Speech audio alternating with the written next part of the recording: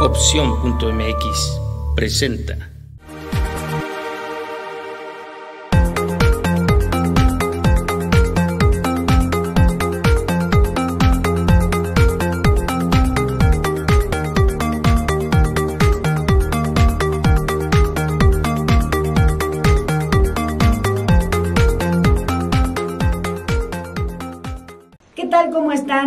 Amigas y amigos de Opción.mx? Esta es una emisión más de Corazón para la Mujer. Comenzamos. Y bueno, vamos a darle entrada a este programa que el día de hoy tomamos la decisión de hacer. El título es Madres solteras en Navidad. Imagínense, queridas amigas, se van a identificar con nuestra invitada especial, Melanie, Melanie Morata Corona. Ella es una madre sola que ha venido haciendo un recorrido a lo largo de su vida bastante interesante porque ¿quién no, quién de todas esas madres solas no tienen la oportunidad de romper esas cadenas de la dependencia? Y por eso tenemos aquí a nuestra invitada especial. Bienvenida, Melanie, ¿cómo Hola, estás? Muy bien, gracias. Qué gusto me da que estés aquí. Qué bonita cara tienes y una Ay. sonrisa impresionante. Muchas gracias. Que ya me he de estar imaginando cómo es que vas a estarnos narrando cómo le haces tú en la Navidad. Mm, No sé si de repente tengas algo grande que transmitir a nuestras amigas de este auditorio de Corazón para la Mujer, pero yo creo que más le vas a dar una lección a muchas mujeres que hasta el día de hoy tienen gran dependencia y por miedo o por dependencia, simple y sencillamente se quedan en una zona de confort y se las está cargando la fregada, pero ellas siguen en esa zona de confort. Yo creo que nos vas a poder ayudar mucho el día de hoy, Melanie. ¿Cómo, ¿Cómo ves tú el tema que el día de hoy realizamos aquí? Te pedimos que nos apoyaras en esta, en esta temporada de Sembrina que es a veces un tanto complicada para todas esas mujeres madres solas que tienen desde uno hasta cuatro, cinco, seis hijos. Platícanos, ¿cómo ves el tema para empezar? Pues súper interesante. Este, y creo que muchas necesitamos como mucha ayuda y un empujón, ¿no? Como para saber que sí podemos. Fíjate que esta temporada la marcamos como una temporada que de repente en el ánimo de las mujeres les da para abajo. De hecho, es la temporada en que algunas mujeres, madres solas, toman la determinación de mm, quitarse inclusive la vida, Sí, porque les desespera no poder comprar un juguete de Navidad para sus hijos. Está de moda que el Santa Claus y que la cartita Santa Claus. Antes era solo los Reyes Magos en mis tiempos. Ahora es Santa Claus, la ropa de Navidad, los Reyes Magos, eh, la cena de Navidad. Y entonces, ¿tú cómo ves eh, el- en el interior de cada mujer, bajo tu perspectiva? ¿Cómo ves el conflicto interno en el que entran? Porque obviamente muchas mujeres, de acuerdo a- al desarrollo que han tenido en su vida, pues obviamente es lo que ganan. Pero a veces lo que ganan se lo llevan en, en un hijo. Y entonces a veces tienen dos o tres o cuatro. Conozco una mujer que tiene ocho hijos. Y yo creo que hay muchas mujeres que tienen muchos más hijos, ¿no? ¿Tú como experiencia, cómo ves esta temporada en cuanto a los gastos, en cuanto que están los niños en casa, en cuanto a veces tienes que hacer una cena de Navidad, comprarles ropa, eh, comprarles el regalo de Santa Claus y de repente viene el fin de año, el 31, y después vienen los Reyes Magos, y entonces ya se acabó todo el dinero de las vacaciones, del aguinaldo y de todas las prestaciones que te puedan dar de fin de año. Híjoles, pues es que sí, yo creo que más de una nos tronamos los dedos para, para sacar esos gastos, ¿no? Y yo la verdad trato de estar ahorrando, ahorrando, ahorrando, ahorrando todo el año, para que en estas fechas a lo mejor tenga un colchoncito. pequeño, ¿no? Pero sé que lo tengo.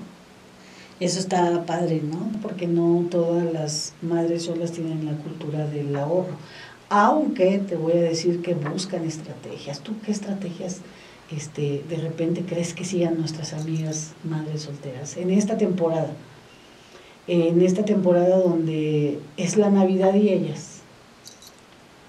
Híjoles, es que es difícil.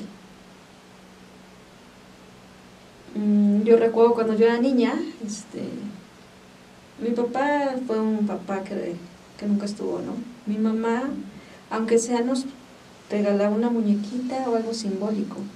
Y creo que yo crecí con eso en mi cabeza y es algo que les he tratado de inculcar a mis hijos. Y no son, no son niños materialistas, nunca me han exigido nada. Entonces por ese lado creo que tengo una tranquilidad. Y me imagino que tus, tus hijos son jóvenes. ¿Cuántos años? El mayor va a cumplir 19 años. Ay, qué padre. Súper grande. Tengo una niña de 17, una de 8 y una de 6. Y ahora ellos te ayudan, y ellos y ellas te ayudan en las labores de, de la casa, y me imagino que en esta temporada se unen mucho más, pero además deben ayudarte en algunas cosas para que puedas economizar. ¿no? Sí, mi hijo el mayor está en casa del papá, vive con su papá, porque ahorita es terrible tocar este tema, pero lo voy a tener que tocar. Este, con esto de la pandemia, creo que estuvo bastante fuerte para muchos, nos pegó a muchos. A nosotros nos enfermamos en enero, mi mamita falleció de COVID y ella la que me ayudaba muchísimo con, con el cuidado de mis niñas. Entonces mi, mi hijo el mayor, su adoración era su abuela. Y ahora que falleció, se puso súper mal emocionalmente, se trató de suicidar tres veces. Y entonces, y se puso muy agresivo, o sea, la traía contra mí, contra su hermana, nos trató de golpear, no, cosas feas. Estaba enojado. Estaba muy enojado con la vida. Y hablé con el papá y el papá me dijo, dame, yo, yo me lo quedo, yo me hago cargo de él un tiempo. Y ahorita está con el papá y súper tranquilo, gracias a Dios. Creo que a veces necesitan un poquito de mano dura, porque sabía, estaba tan enojado que la estaba tomando contra todos. ¿Y tú cómo te sientes en el tema de, bueno, supongo yo que va a pasar contigo la Navidad? ¿Cómo vas a hacer el, el, el regreso, aunque sea en esa temporada? ¿Por qué? Porque se enfrentan gastos y emociones, se enfrentan eh, vivencias en estas fechas. A veces las ocupamos para perdonar, a veces las ocupamos para enojarnos con la gente. Desgraciadamente los seres humanos somos muy raros, muy raros. Pero tú como mamita sola o madre soltera, porque no es que estés sola, es que eres soltera porque seguramente sí lo has decidido. Sí, hasta ahora sí.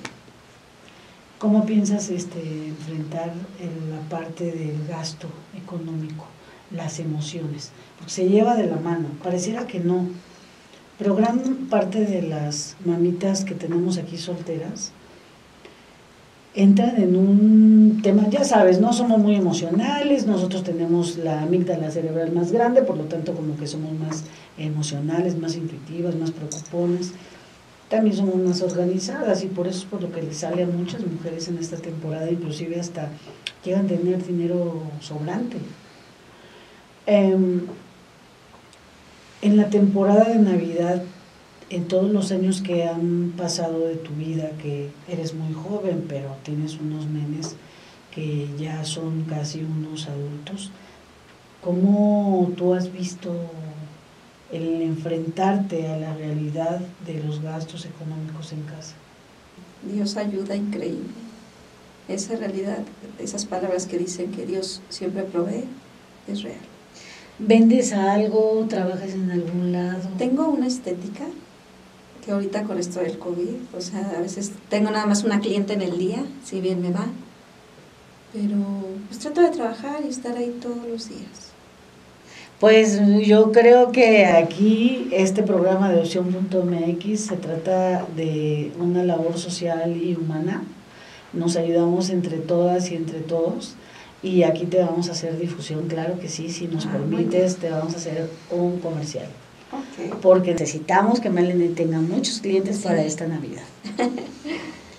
y platícame, necesitamos que Melanie tenga muchos clientes para esta Navidad.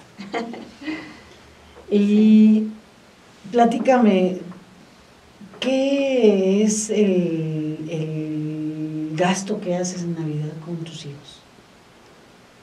Pues Santa Claus. ¿Qué te piden? Normalmente siempre me piden juguetes. Yo les he dicho que Santa Claus trae una cosa y los Reyes Magos traen tres cosas. Entonces, piden algo grande en Santa Claus y tres cosas chiquitas en los Reyes. ¿Y te piden cosas muy costosas? Sí, sí, claro. Ahorita hay un comercial de algo de pintar uñas y eso ya lo pidieron las dos niñas chiquitas. Ah, ya están empezando Ya, a programar el profesionalismo que tiene su mamá en esa área, ¿no? Sí, sí, ¿Y increíble. cómo las ves a ellas? ¿Contentas? Ya sabemos que pasaron por un duelo, pero las ves contentas, las ves Sí. eh, resilientes, las ves eh, con ganas y ánimo de que Las ya viene la. Navidad. Las veo resilientes. Y ellas cuando me ven que estoy triste, híjoles, hasta siento feo, ¿verdad? Son las que me dicen, no mamita, no estés triste por mi abuelita. Entonces son mi fortaleza. ¿Cuánto tiempo tiene que se fue tu mami? Falleció el 31 de enero. Ya hace un año. Sí, pero es increíble porque mi mamá fue quien las crió al final. Yo las tuve seis meses, siempre he sido muy trabajadora. Y me acuerdo que desde los seis meses mi mamá se hizo cargo de ellas. Entonces fue su mamá, fue quien les enseñó a hablar, a comer. Todavía le dio tiempo a enseñarle a, a leer a mi hija la más grande. Y pues les dolió muchísimo, pues era su mamá también. Fíjate, las abuelas son maravillosas, maravillosas, de verdad que hay mi abuela que está, estoy segura que está con Dios, mm, tan maravillosas que además de criar a sus hijos, a sus propios hijos, ayudan a criar a los nietos y les da, les tratan de dar los todavía mejores ejemplos que trataron de dar con sus hijos. Y les dan muchísimo más amor a los nietos que a los hijos. golpe tremendo, me imagino, entonces para el mayor, porque estaba creando con ella, a lo mejor tenía un vínculo eh, Sí, que imagino muy estrecho, ¿no? sí. Y por eso la reacción de él en estos momentos, pero hace un rato platicando, queridas amigas, eh, antes de comenzar el programa, pues me decías que el, el, el tema de seguir avanzando y seguir avanzando y seguir avanzando es para toda la gente, ¿no? De tu familia.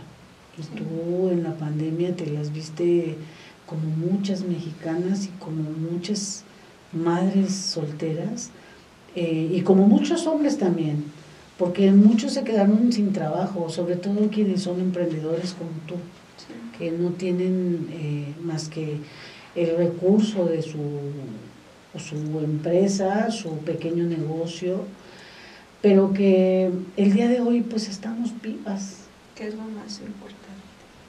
Estamos vivas y además estás bien joven y bien bonita y yo creo que nada más hacemos un, un buen trabajo de reportaje de los compañeros reporteros de opción y vas a ver que vamos a tener un gran resultado para la difusión de tu estética. ¿Tienes una estética? gracias, sí. Qué padre. ¿Qué haces ahí? Pues yo la verdad, voy a ser bien sincera, yo no tenía idea de estar ahí. Yo me acuerdo que de niña yo en alguna ocasión soñé, me encantaría tener una estética. Pero pues nunca fue así como mi plan y mi meta, ¿no? Soy real. Entonces, ya cuando llegué a tener esa estética, que se dieron las cosas por, por X o por Y, yo dije, pues, si estoy aquí, pues debo de aprender. Y me metí a cursos de uñas, de manicure, de pedicure, de pestañas. Y pues aprendí. Porque pues estando ahí, tienes que aprender. Claro. ¿Y qué es tu mayor especialidad en la estética? Yo creo que las uñas. ¿Sí? Pones muchas uñas y... Pues quisiera poner muchas. Eso de pero- la del del delineada de ceja y que de ojo y que luego te pones como extensiones, eso también lo haces en tu... Sí, yo no, El chico que me ayuda, él lo hace. Él, hace, él es el estilista y él hace todo eso. Así, tú nada más haces las uñas. Yo nada más las uñas, pestañas y nada más. Pues yo te auguro que en el nombre de Dios, a partir de ya, vas a tener muchísima, muchísima gente, vas a ver. Gracias. Vas a ver. Y mucho trabajo porque tienes que sacar adelante esas chiquitas, a tu Esos hijo. Ajá, los, sí, sí, porque eh, seguramente como todas las madres solteras que tenemos nosotras en nuestra sociedad mexicana, seguramente eh, estás dispuesta a hacer lo que sea para que ellos tengan éxito. Así Pero obviamente aquí nos encargamos, queridas amigas, de tener también la certeza de que no solo hay que pensar en sus hijos, hay que pensar en nosotras, en todo lo que merecemos y queremos para nosotras. Y entonces, pues bueno, vamos a terminar con esta sección, nos vamos a ir a la sección de preguntas y respuestas y regresamos en unos instantes. Melanie, ¿cuánto es lo que tú necesitas para enfrentar estos gastos en la Navidad? Año Nuevo, los días de Reyes, Híjole. las vacaciones. No, pues, Calcúlale, un cálculo, un cálculo que tengas. ¿Cuánto te has gastado en otros años? Sin pandemia. sin pandemia, como unos 10 mil. 10 mil pesos. ¿Y cuánto te has tenido que gastar en estos últimos años de pandemia? Por ejemplo, el año pasado lo recorté a 5 mil. Sí, o sea, Sí, no. complicado. Sí. ¿Y qué hiciste de cenar el año pasado? El año pasado hicimos pavo, ensalada de manzana, cochinita pibil, que era la especialidad de mi mamá, Ya se me antojó. eh, bacalao y hicimos romeritos. ¿Te juntas con toda la familia para hacer los alimentos? Sí, bueno, mi familia siempre fue muy, muy chiquita. Fue mi papá, mi mamá, mi hermana y yo. Esa era mi familia. Oye, Y es mi Melanie, familia. cuando te dice una de tus hijas o de tus hijos, quiero algo que se sale de tu presupuesto, en tu interior, ¿qué pasa? En tus emociones, en tus pensamientos, ¿qué sucede? Ay, sale a mi lado guerrero. y Sí. digo, lo voy a conseguir. Y lo consigo. ¿Te endeudas? No, trabajo en barro a ver qué hago, pero siempre lo logro. ¿Te conmueve la impotencia que te genera el tener que reunir esa cantidad de dinero? Sí, mucho. ¿Qué sientes? Es que, es, que, miren, Melanie, amigas, esa impotencia la hemos sentido todos, todas, o todes dicen por ahí. Sí. De verdad, hay un momento en la vida en que te duele el pensar, porque duele. Ya, como dice, decía Carl Jung, ¿no? La lección de sufrir es otra cosa. Claro. Pero el dolor que te, a veces te genera el que de repente tus hijos necesiten algo material y que se los quieras conseguir porque en el interior sientes la necesidad de cubrir a lo mejor ciertas cosas del interior de ellos, ¿no? Sí. como la ausencia de una figura a la que la sociedad mexicana está acostumbrada.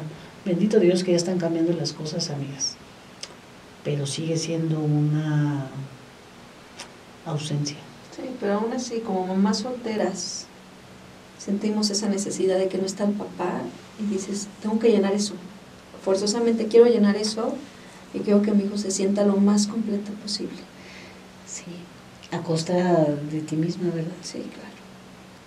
Y, y cuando te dicen, ¿sabes qué? Mm, resulta que el juego de la más chiquita te cuesta, tú dispones de 5 mil, ¿no? Porque estamos saliendo de la pandemia, amigas. Dispones de 5 mil. Pero la más chiquita te dice que quiere algo que cuesta 3 mil.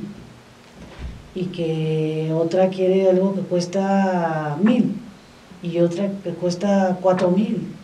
Y otro que cuesta a lo mejor 6 mil porque ya necesita una computadora, por ejemplo. Eh, normalmente los hijos pedimos lo que creemos que nos gusta nada más, no pensamos en el precio cuando somos de esa edad. El que los consigas o no es una cosa. tú trabajas y los produces y, o a lo mejor te endeudas y los consigues. ¿Cómo llenas el vacío?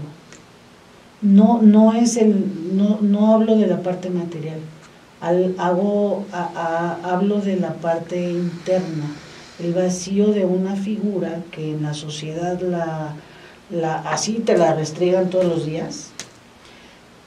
Sin embargo, existe desde hace muchísimos años. Yo soy una hija de una madre soltera, tengo 51. Este, existe, ha existido siempre, vamos, ¿no? Entonces, digo, desde las guerras, muchas madres hicieron frente, en las guerras han hecho frente porque se, quedan solas, se quedan viudas, se quedan solas y fungen la función de las dos cosas. Tú funges la función del padre y de madre. Sin embargo, ¿cómo haces para sustituir ese, ese, esa figura, pues, ese vacío? A ese es a lo que me refiero con ese vacío. ¿Cómo haces para sustituirlo? porque las madres son mágicas. Sí, definitivamente. Pues trato de ponerme en el rol de los dos. A ver, actúas en un lado como papá, no. sí. Eso no. Y del otro lado ser la mamá tierna y dulce. Consentidora y apapachadora, ¿no? Sí, porque siempre una pareja, obviamente, y todos lo, lo sabemos, ¿no? Siempre está el bueno y el malo. Normalmente el papá, casi siempre, es el rol del malo y la mamá siempre hace el rol de la buena. Raramente es al revés, pero pues yo sí tengo que tener los dos roles, de repente ser mala y de repente que me digan que soy la mamá más regañona del mundo. Claro. Pero ya en la noche, ya cuando todo está tranquilo, ya saben que otra vez soy la mamá linda y buena. Sí, la creencia es esa, pobres padres, ¿no? Porque ya desde el que somos chiquitos los pintan como el malo. Ahora que venga tu papá vas a ver cómo te va a ir, ¿no? Y cuando le dicen al papá, papá, quiero salir a las 2 de la mañana a la calle, vele a decir a tu mamá y tu mamá, sí, dale permiso, pobre de mí, entonces apapachan. Pero esas son creencias, ¿no? ¿Cómo se llama tu hija la menor? La más chiquita, Miranda. Miranda, ¿qué te dice cuando seguramente detecta los momentos en los que te estresas o te deprimes? Porque tienes que conseguir lo que necesitas para la Navidad. Seguramente el mayor cambio, pero el más chiquito a veces pareciera que no, queridas amigas.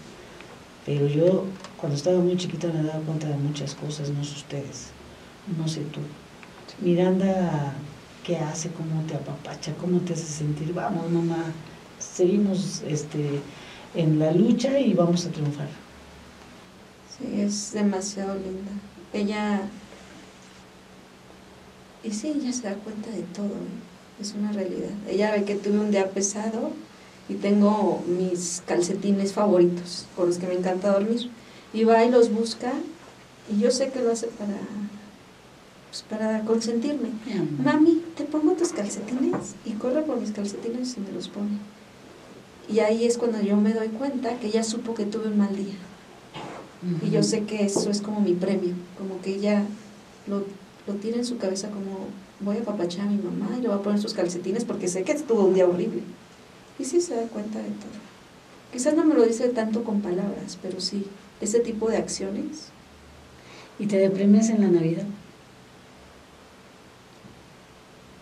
Pues sí, sí, muchas veces, muchos años. Quizás cuando fue reciente lo de la separación de, su papá fue difícil. Te pusiste muy mal. Demasiado mal. De verdad yo era tanto el dolor, porque sí fue un problema que, que sobrepasó las expectativas de, de, un engaño, de una infidelidad cualquiera. O sea, sí, es que a veces no nos enseñan. Es una historia tan terrible. Ya casi me haces llorar porque mm, te veo y me transmites ese dolor que se siente, pero que tienes que estar de pie, porque sabes que tienes que seguir adelante, porque hay aceptación de que su cuerpo no está. Sin embargo, por ahí dicen amigas que La gente muere cuando ya no hablas de ellos, cuando ya no te acuerdas de ellos. ¿no? no tienes que ir al panteón, no tienes que ir a la urna a verlo, simple y sencillamente estar siempre pensando que ahí estaban. Estuvimos una temporada y les damos las gracias por estar cerca de nosotros en estos tiempos, ¿no? Pero yo de verdad que me es muy grato y muy conmovedor el tema de las mamis eh, que se fueron por COVID. ¿También era madre sola tu mamá? No, eso estaba mi papá, pero era como madre sola. ¿Sí? Sí. Fíjate. Mi papá fue como, Grandes ejemplos. per- Las... perdón, pero no, mi papá fue como un mueble en la casa. Pero sí, o sea, amo mucho a mi papá. Pero sí, o sea, yo puedo reconocer que mi mamá fue la que se fregó mucho por Sí. sacarnos adelante. Y en la generalidad es así. A veces se piensa que es porque los hombres son medio mm, laxos, pero no.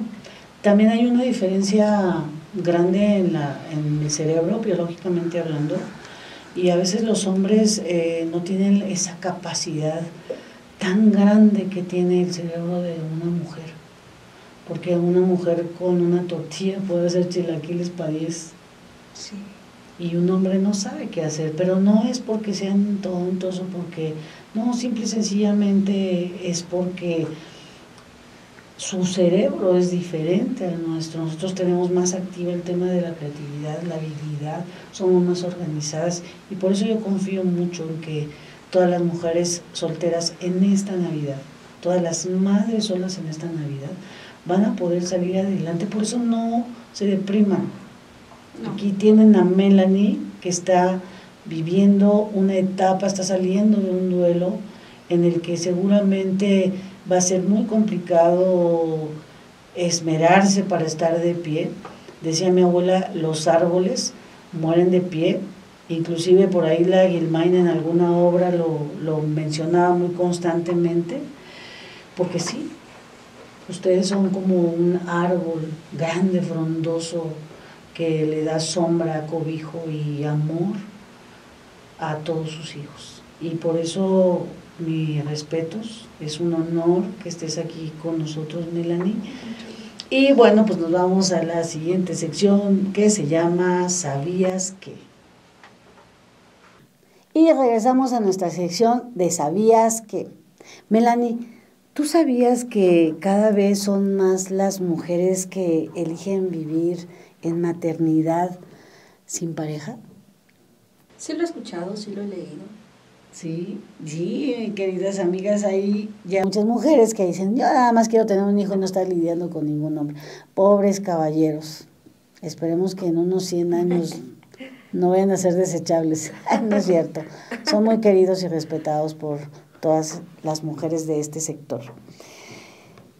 Fíjate, Melanie, que hay muchas madres solteras que encabezan sus familias y las encabezan por circunstancias de la vida, como son las guerras, eh, bueno, obviamente las separaciones, algunas se quedan viudas. En esta época hubo muchas mujeres que perdieron a su esposo en el COVID y ahora pues sí son una gran estadística de madres solas. Sí, no sé si tú lo sabías, pero eh, el detalle aquí es que en el mundo, en la población mundial, pues sabemos más mujeres que hombres. Entonces sí es muy notorio cuando se muere un hombre. En estas temporadas se murieron muchos hombres y muchas mujeres. Sin embargo, sí se nota más cuando una mujer se queda sola. Y entonces en, en este trabajo y proceso de investigación, pues nos dimos a la tarea que cuatro, de investigar que cuatro millones de mexicanas se han convertido en jefas de familia. En ellas recae el todo, el mando de la, de la casa, la organización y se convierten en el sustento familiar. O sea que para empezar, amigas, Melanie, pues para empezar no estamos solas. somos muchas los que somos madres solteras. Bueno, no somos, yo no soy madre soltera, pero ustedes sí. ¿Cómo, cómo te sientes, Melanie? Esta temporada navideña ya hablamos de tus emociones y todo eso, pero esta información del sabías que te da cierto, mm, eh, ¿cómo te comodidad, confort, de decir, no soy la única, somos muchas más. Pues sí, no soy la única, somos muchas que estamos yo en la misma situación. Oye, Melanie, ¿en dónde te podemos contactar? En dónde ya quedamos, queridas amigas, que vamos a hacerle un comercial a Melanie para que ustedes puedan saber en dónde la localizan, dónde les puedo poner unas uñas hermosas y maravillosas. A mí no me preguntes porque yo estudié una carrera en donde me pedían que me cortara las uñas, entonces por eso no me pinto las uñas. Este, pero ¿dónde podemos encontrar a Melanie eh, para poder saber eh, los modelos de uñas, que si está su auxiliar, el estilista, que le corte el pelo, que le pinte su carita, mm, o cualquier cosa que tenga que ver con la belleza femenina o también masculina, porque yo ya he visto que hay muchos caballeros que se pintan su cara y se ven guapos, ¿eh? ¿En dónde te podemos encontrar? Eh, pues mi página de Face es Melanie, Melanie Morata. Ok, esa es tu página de Facebook. Melanie Morata. ¿Tienes Instagram, Twitter, no sé? Este, este? Instagram igual, Melanie Morata. Eh, WhatsApp. Ajá. Normalmente ahí me hacen citas y todo eso. Eh, WhatsApp es 55 11 12 81 67. Ok. Y bueno, queridas amigas y amigos, eh, la estética de Melanie eh, se encuentra en qué colonia? Aquí en Iztacalco. Ah, ok. Es en Avenida Rojo Gómez, número 65. Es casi esquina sur 4. Ah, qué padre. Pues vamos a ir a visitarla. Ya saben, si quieren sacar cita, ya nada más es que se pongan de acuerdo con ella para que puedan contactarla y pronto verán dentro de nuestras cortinillas de, de nuestros programas algunos comerciales, no solo de Melanie, también de la comunidad de todo el país, todo aquel que nos quiera eh, hacer llegar un videíto haciendo una promoción de su producto o el servicio que den, lo podemos difundir en nuestros comerciales de los programas de opción opción.mx. Y bueno, pues vamos a la parte divertida, Melanie. Tenemos eh, nuestros TikToks que buscan nuestros amigos de la producción que eh, a veces son muy divertidos y a veces son muy educativos, aunque para la gente a veces es como que aburrido, pero porque están acostumbrados a ver puras cosas en TikTok que les alegre la vida o les haga olvidar por un momento la situación que cada uno vive, pero para nosotros a veces son bastante educativos y eso es lo que nos gusta sacar. Vamos a nuestros TikToks. Nunca te enamores de un padre o una madre con hijos, o padres o madres solteros, si no vas a entender su pasado, porque para ellos sus hijos están primero.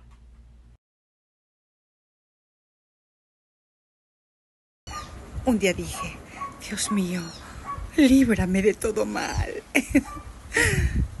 y me volví soltera. Mira, amigo, una madre soltera y con hijos no busca un encuentro casual, busca un amor genuino, un amor que perdure. Porque es fácil ser papá si no vives con tus hijos. Nunca tienes que empezar con quién dejarlos para ir a trabajar. Y tienes plena libertad para ir a donde quieras, sin angustias ni preocupaciones. Pero amigo, ¿sabías que tú no le quitaste un futuro a esa mujer al dejarla? Al contrario, le diste una razón nueva por qué luchar. Le dejaste un amor puro, de esos que se conocen una vez en la vida. Le dejaste el mejor de los regalos que hoy tú no disfrutas. Una mujer soltera es mucho más que ser mamá.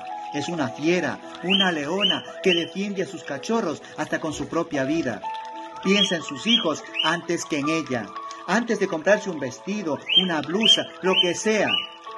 Una madre soltera tiene mucho más valor que cualquiera porque sabe enfrentar con mucho valor al mundo y de la mano de Dios.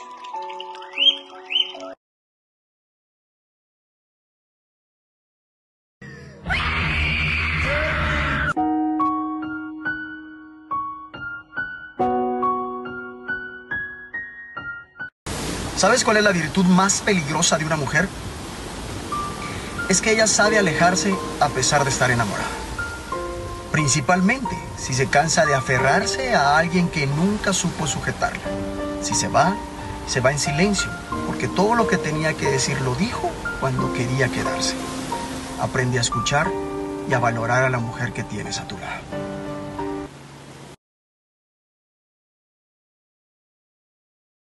Y bien, estos fueron nuestros TikToks. Fue la última sección de este programa de Corazón para la Mujer, pero no nos queremos ir porque queremos pedirle a nuestra querida amiga ahora, Melanie. Tiene unos ojos tan bonitos, de verdad que es un dolor grande haber perdido a mamá. De verdad que su cara refleja aceptación, pero también refleja esperanza y fe. Y yo creo que Melanie va a ser una de esas mamás exitosas. Eres muy joven, Melanie.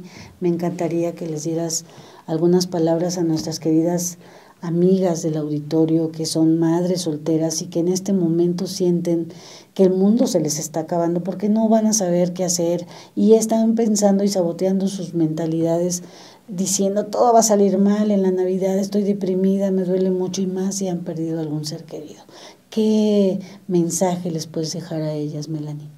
Mm, muy bien. Este, yo puedo decirles que la vida a veces es bien dura, que podemos perder muchísimas personas, muchísimas cosas materiales, muchísimos sueños, porque es parte de la vida. Pero bueno, al final nuestra decisión de día a día que tenemos es cómo enfrentarlo, cómo vivirlo. Es algo que nadie nos lo puede quitar. Creo que podemos pasar todos los dolores, todos los sufrimientos, todas las pérdidas materiales de personas, pero tenemos vida. Y aunque a veces parece que está vacía la vida, que no hay luz, porque yo lo viví, lo pasé, por ejemplo, cuando me separé el papá de mis hijas, híjoles, yo de verdad, o sea, quería que me internara en un psiquiátrico, ya no podía con el dolor. Y toda la gente me decía, no, ya va a pasar, eh, va a ser nada más por un tiempo, y yo de verdad no lo creía. Y hoy estoy aquí y puedo de verdad decir que, que todo sana, el tiempo todo lo sana. Hasta el peor dolor el tiempo lo sana. Tenemos que ver la vida con esperanza porque atrás de nosotros siempre vienen nuestros hijos. Y si ven que nos caemos, ellos se van a ir igual para abajo. Así que tenemos que sacar toda la fortaleza, porque la tenemos todos los seres humanos, tenemos toda la fortaleza para seguir día a día. Y enseñarles a nuestros hijos con todo el amor del mundo que se puede, todo se puede podemos sacar cada día sin problema. Todo lo podemos vencer. Con el amor de nuestros hijos y con la fe en Dios, yo creo mucho en Dios, con la fe en Él, todo lo podemos. Melanie, muchísimas gracias mm. por estar aquí con nosotros. Esperamos que tengas mucho, mucho éxito y de verdad de todo el corazón para la mujer. Te deseamos eh, que esta Navidad la pases con mucho éxito, con mucha abundancia, con mucha paz, con mucha resiliencia y que te prepares estos últimos días del año porque yo te auguro que el siguiente año vas a tener mucho más éxito, vas a estar más fortalecida por el aprendizaje sobre todo del dolor y que tus hijos van a ser unos hijos productivos, amorosos y exitosos que van a a responder en un momento dado, en un tiempo, todo ese trabajo que tú has hecho porque estás sembrando semilla y seguramente va a haber unos frutos maravillosos. Quiera Dios que así sea. Verás que sí. Verás que sí, muchas gracias. No, gracias a ti. Muchas gracias, por acompañarnos y te esperamos en algún otro momento. Ya estaremos hablando de belleza, no sé ver de qué. Pero ya te estaremos esperando. Muchas gracias, Melanie. No, a ti, gracias. Queridas amigas y amigos, muchas gracias. Gracias a Melanie. Esperemos que este programa les sea de mucha utilidad, que les haya gustado y nos vemos en la siguiente el siguiente jueves eh, en punto de las 5 de la tarde. Nos vemos por aquí por opción.mx y esto fue De Corazón para la Mujer.